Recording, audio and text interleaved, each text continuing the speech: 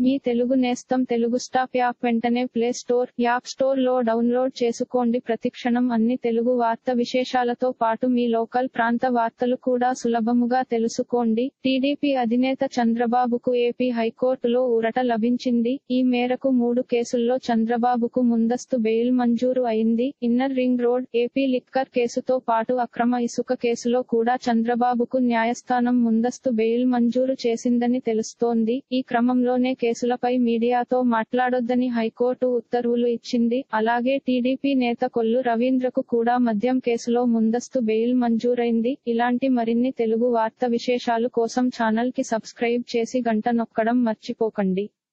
ఈ వీడియోని తోటి మిత్రులకి షేర్ చేయండి. మీ అభిప్రాయాన్ని కామెంట్లో తెలపండి.